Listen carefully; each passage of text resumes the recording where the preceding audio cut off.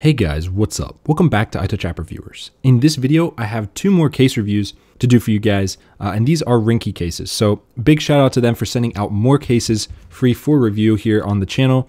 This is the Fusion X in matte for the iPhone 11 Pro. So let's crack this open and see what we've got inside. Should be the usual stuff, nothing else in the bag.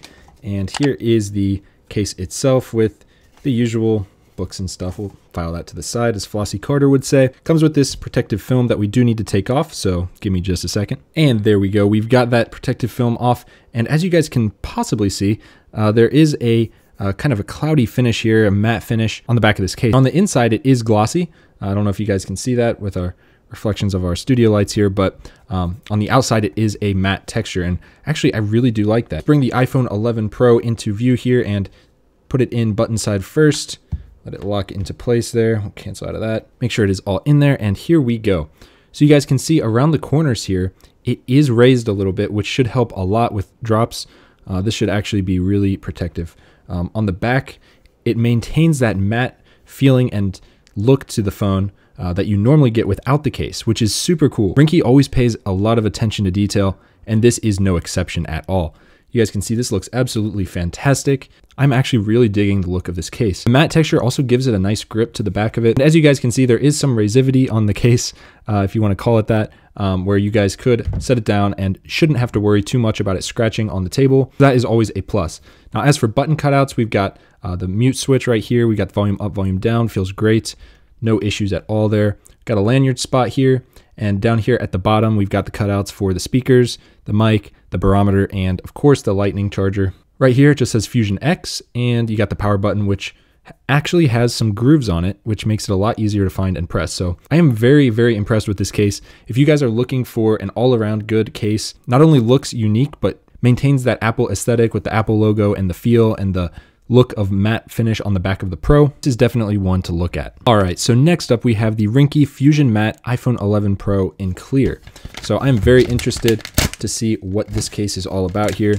Um, let's open this up, nothing else in the box, and typical books and stuff, file that to the side. Now this one also has the plastic on it, so give me just a second and I will take that off. And wow, here is the case itself in all of its glory.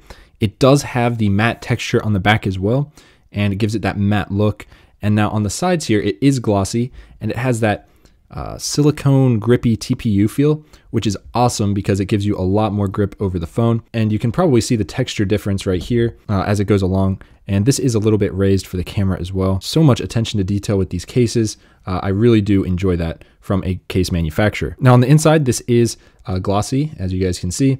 So the matte feeling is only on the back, same with the other uh, one as well. And as you guys can see with my white background, this has almost no signs of yellowing as of right now, which is awesome. And I've actually had this case for probably about a month uh, because I've been backlogged with other videos to do. And Ringke sent these kind of out of the blue to us. Pop the iPhone 11 Pro into here and see what it looks like. So as always, button side first. It's the easiest way to do it.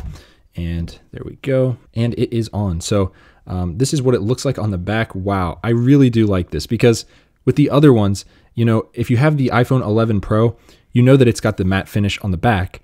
However, when you slap one of these cases on it, uh, it had that glossy finish on the back. These solve that issue completely with this matte texture, which you guys can probably hear uh, through the mic here. It just looks so much more in line with what Apple would produce because, again, this is the iPhone 11 Pro with the matte back. It feels great in the hands. The sides actually do uh, give it some grip as well, so you don't feel like your phone's just going to slip out of your hand constantly.